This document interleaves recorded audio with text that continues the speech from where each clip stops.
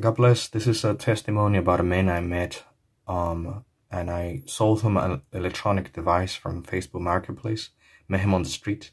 He met his family. When I met him in person, I felt in my heart to pray for him.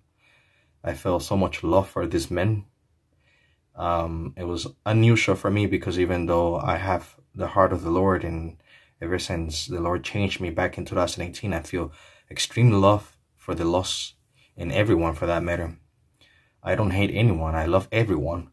Well, I had a deep, unique love in my heart for this man. I prayed for this man and I tried to continue communication. Um, we had a little chat um, through text. And then I sent him this letter in November 6th. I said, Hello, Jay. Hope you and your family are doing great. I have something important to share with you. Please read carefully.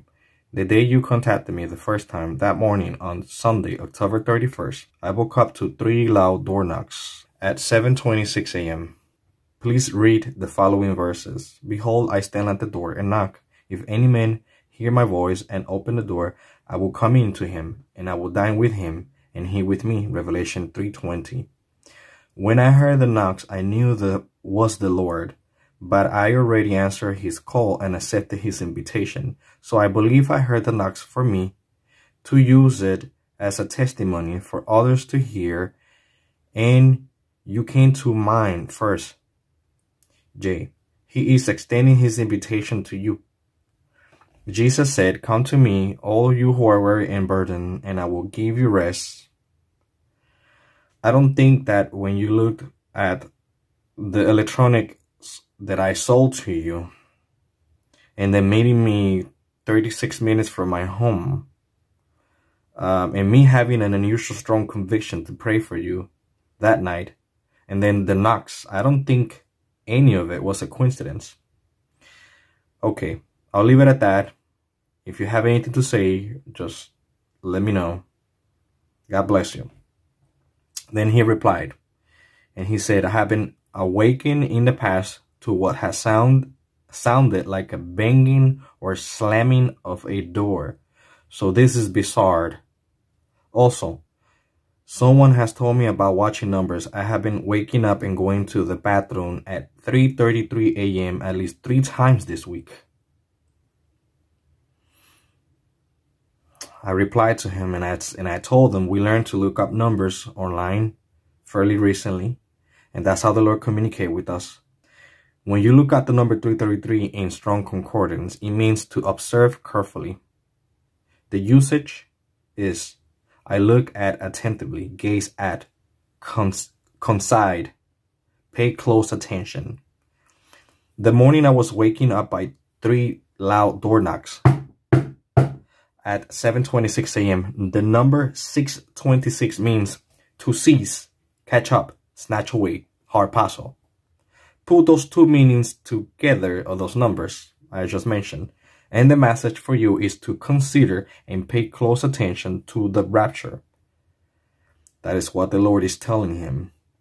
If you dream about the sound of an open door and then it slams shut, it means you have missed an opportunity which is no longer available for now. And the Bible scripture that goes along with that is in Matthew 25 the parable of the ten virgins. I recommend that you read it. I told them when you have a few minutes. Jesus talked about the ten virgins, referring referring to us today. Five were foolish, five were, were wise. The five wise virgins prepared and paid close attention to his coming. And when the bridegroom Jesus came, the rapture, they went in through the open door. The five foolish virgins did not prepare, did not watch, and the door was shut they were left behind. These are the lukewarms and the ones who believe in one safe, always safe.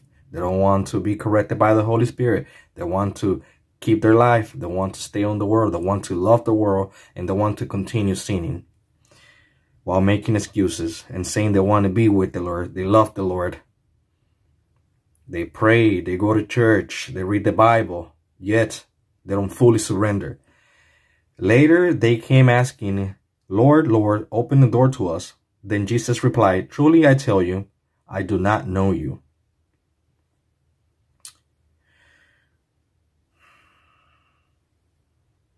He then thanked me for all the insights in conversation.